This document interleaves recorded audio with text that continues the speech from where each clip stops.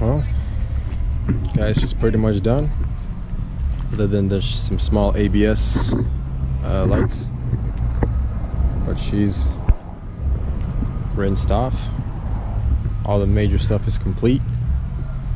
Just some ABS, ABS stuff to figure out, and got to figure out why my taillight's staying on. But I think I found a wire that's uh, corroded and kind of broken into pieces, so I got to fix that wire.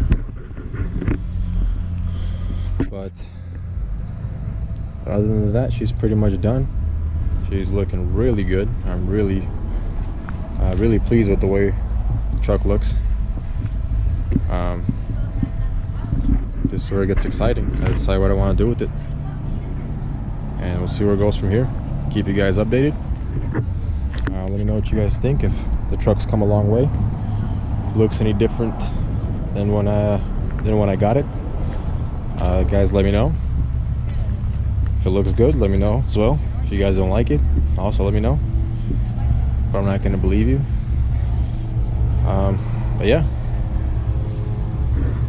guys thanks for watching my progress videos um, believe me when I say this isn't the this isn't the last one it'll all start from here. Uh, I'm really proud of how this truck turned out. I'm proud of that I did it pretty much all by myself. Um, but yeah this is gonna be fun